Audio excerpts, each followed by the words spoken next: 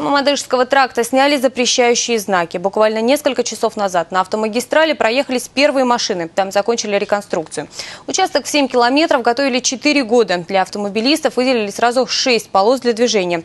Позаботились и о пешеходах. Вдоль трассы широкие тротуары. Новую дорогу оценила и Наталья Колюшкина. По обновленной дороге под залпами конфетти и объективами телекамер. Сегодня долгожданный участок автомагистрали открыли полностью спустя 4 года строительных работ. Его протяженность больше 7 километров, потому, чтобы не затруднять движение, дорогу на ремонт перекрывали частями.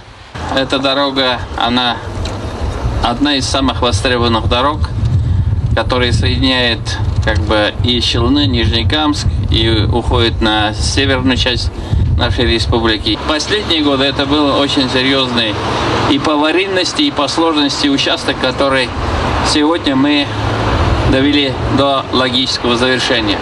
Комфортнее на дороге станет и пешеходам. Здесь появились три светофора, четыре надземных и подземных перехода. Расширили и тротуары, теперь они больше двух метров. Автомобили движутся по шести полосам.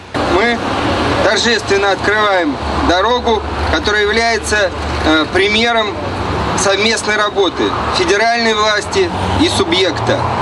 Это такой пример, э, который мы должны тиражировать по всей территории Российской Федерации. Строительные работы велись в рамках подготовки к универсиаде. Ожидается, что во время игр по дороге будет перемещаться большой поток машин. Наталья Кольчкина, Илья Шорин, Вести, Татарстан.